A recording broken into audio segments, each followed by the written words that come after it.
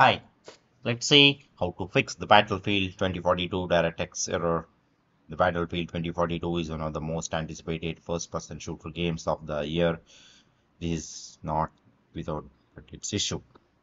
One of the most common problems that the players have been encountering is the DirectX error. The error can be frustrating and can prevent the game from launching or cause it to crash during gameplay. So whenever you face this kind of error, you see screen like this. So let's see how to fix the Battlefield 2042 DirectX error. First method is update your graphics and card drivers. An outdated or the faulty graphic card driver can cause the DirectX errors. Updating your graphic card drivers to the latest version can fix the issue. You can download and install the latest drivers from the manufacturer's website or use a bit driver update software to automatically update all the faulty and outdated driver files installed on your system.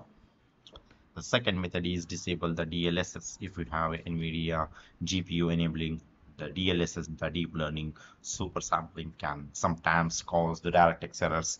Disabling the DLSS via GeForce Experience can resolve the issue. Third method is check your system requirement before you start playing the Battlefield 2042 make sure your system meets the minimum requirement. If your system doesn't meet the requirement, you may experience the DirectX errors. You can check the system requirements on the official website of the Battlefield 2042. The fourth method is repair the corrupted game files. Corrupted game files can cause the DirectX errors in the Battlefield 2042. To repair the corrupted game files, you can use the built-in repair tool in Origin to use the repair tool you have to follow some of the steps open origin and go to your library right click on the battlefield 2042 and select repair. Wait for the repair process to complete. The fifth method is disable overclocking. Overclocking your gpu can cover the DirectX errors try disabling the overclocking and see if the issue has been resolved.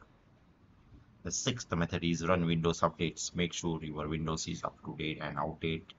Windows can cause the DirectX errors run the Windows updates, you have to follow some of the steps. Go to the Windows Keeper site to open the settings.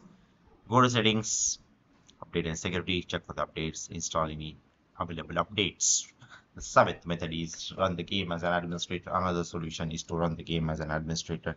To do this, right click on the game icon and select the run as administrator. This will give the game necessary permission to run smoothly without any errors. The eighth method is force the run DirectX 12. If none of the above solutions work, you can try forcing the game to run the DirectX 12. Open the game's installation folder, right click on the battlefield exe.file and set properties compatibility tab. Run this program in the compatibility mode for and select the Windows 8 from the drop-down menu. Check the box next to the disable full screen optimization click and up, click on apply and then OK. By following these troubleshooting methods, you will be able to solve this issue. But if you're still facing the problem, you can contact the EA support team for further assistance. Okay.